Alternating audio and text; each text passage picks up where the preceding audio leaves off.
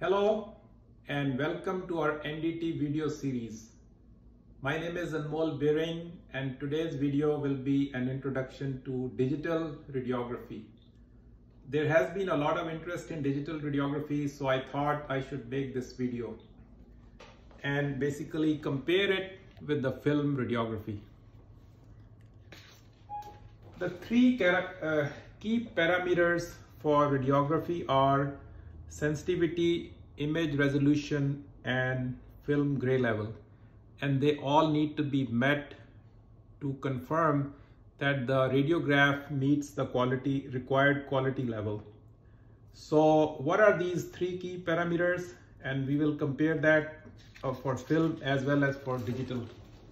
So sensitivity is validated by the detection of the wires and depending on the thickness of the part we select the essential wire or the essential hole in the penetrameter and make sure we have good detection of the IQI wire or the hole. Now as far as the digital and the film are concerned, it's the same. We use the same uh, wire or the hole for the digital as well as for the film radiography. So there is no difference. So it's the same for film and digital radiography. So if we use, let's say for uh, film, we say we have to detect wire number five, it's going to be the same as for the digital, we have to detect the same wire number.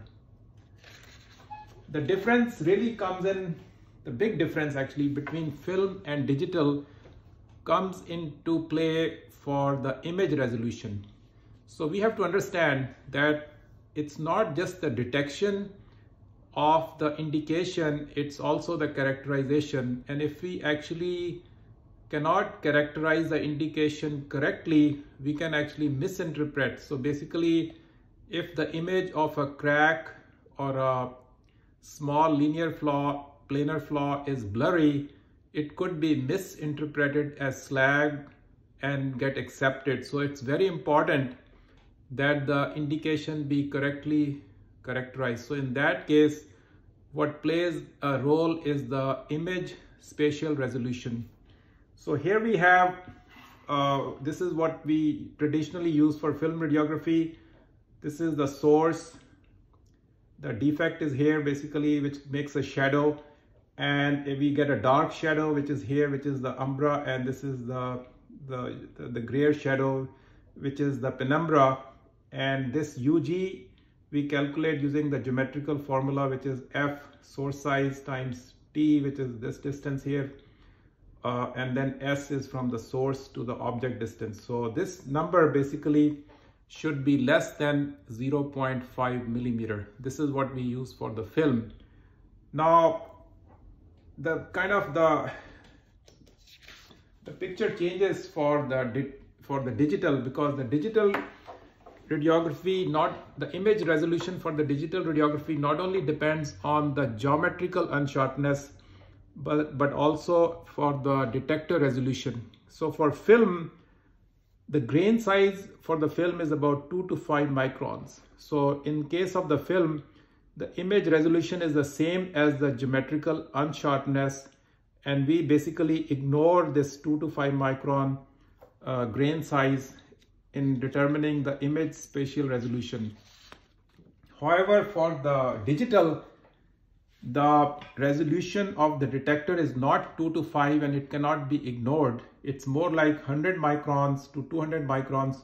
So really we have to account the detector resolution to determine the spatial resolution of the image.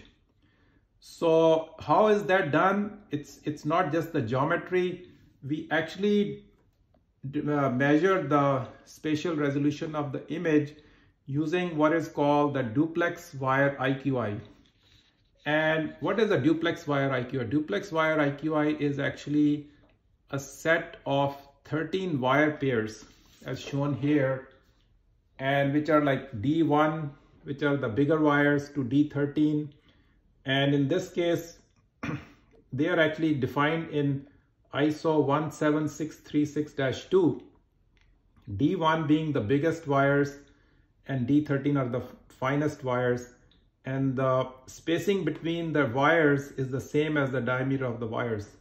So for to really determine the spatial resolution of the image, we have to resolve this the wire pair which is actually required in the ISO standard.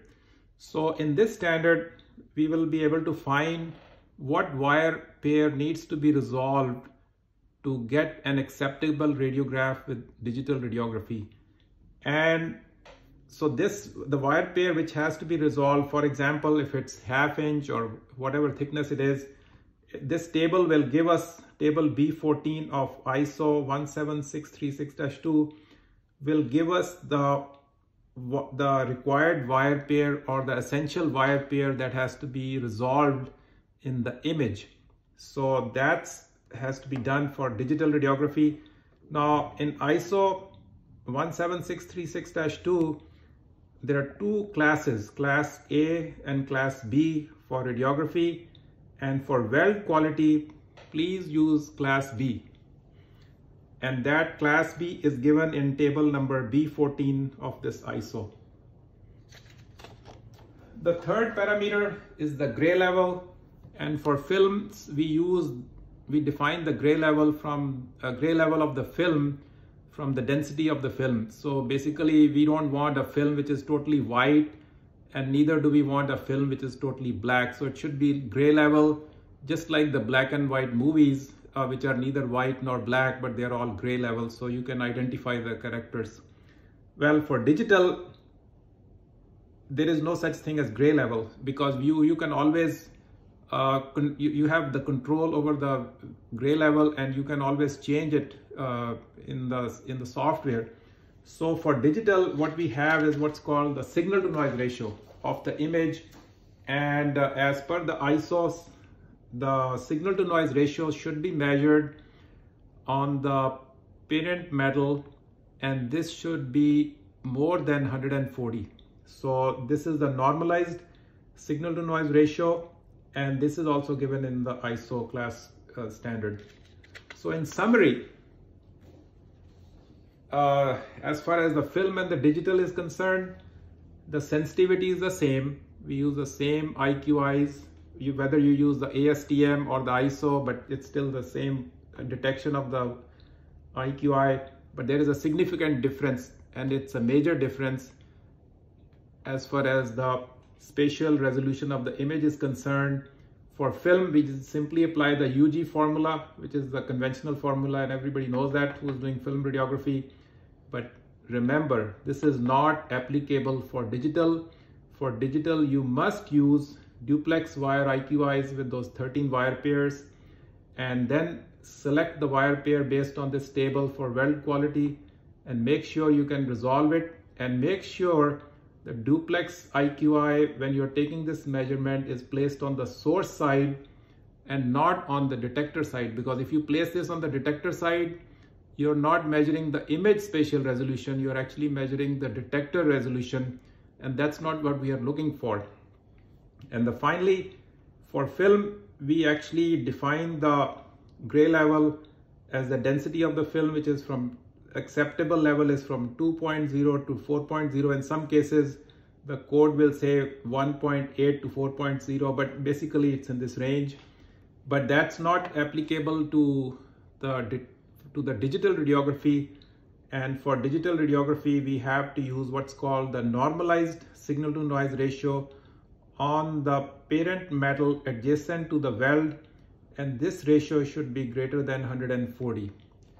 So uh, I just wanted to conclude this presentation by saying that digital is not the same as the film radiography and you must be careful when you do when you actually start using digital radiography and uh, it, it, it can be done correctly but you really have to do apply the, the right process for the digital radiography and thank you so much for this for listening to my presentation and uh, we'll have more presentations as the time goes on.